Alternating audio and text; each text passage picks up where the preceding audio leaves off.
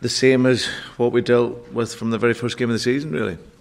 Um, there's no added pressure. There's no less or more pressure than than what we had then. You know, we, we still we look to to win the game at the weekend. Um, we still are in check with reality in terms of where we're at.